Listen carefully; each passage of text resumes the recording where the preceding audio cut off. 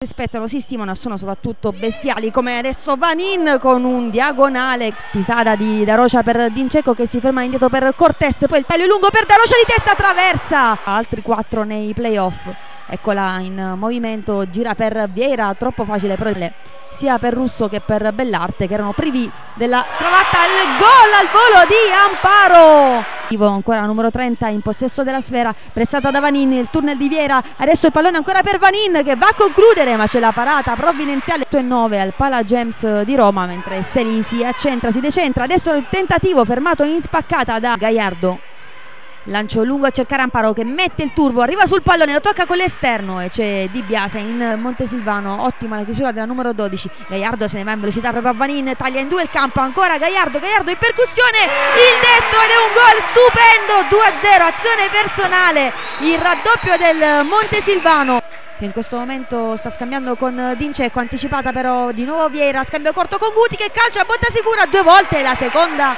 è larga e Cagliari Sestari nona doppio passo al limite dell'area pallone per Viera che calcia all'angolino. Contropiede della kickoff 3 contro 2 nona per uh, Viera che va a calciare. Vanin trova il pallone in mezzo. Mi sembra che il gol sia suo. Se Conselo un po' meno. Altra botta di Vanin.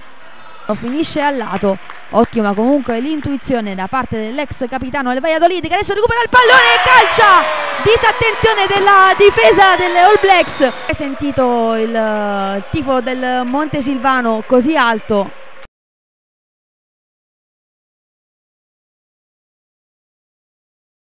Vanin anticipa Borges, ancora Borges, vince il ripallo su Viera, se ne va Borges, cost to cost, va a calciare in caduta. Eh, però la kick che adesso ci prova con Viera per non anticipare il contropiede, Amparo contro Di Biase, Amparo a sinistra per Gaiardo che in spaccata mette dentro il 4 a 1 lascia lì ad Amparo che può calciare col mancino lo fa con un tuffo acrobatico di Biase. 4 contro 3 adesso sta rientrando da Rocia sulla sinistra Vieira destra per Nona che va a calciare c'è il miracolo miracolo di Sestari.